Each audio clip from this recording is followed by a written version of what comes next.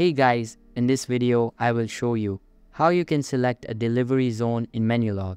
So make sure to watch the video till the very end. And let's begin. First go to Google Chrome and write menulog.com. So now the Menulog main page appears on your screen. After that tap on the three lines that are in the top left corner of the page. After that you can see different options like corporate ordering, becoming a career, login, and selecting your country option. Next click on the become a career button. After clicking on it, the create account page shows on your screen. Now simply complete all the requirements that they require like your name and others. After clicking on the city, you get your delivery zone. If these things are not helpful, then contact customer support. So that's basically how you can select delivery zone in Menulog. So that's all for this video. Hope you liked the video. Thanks.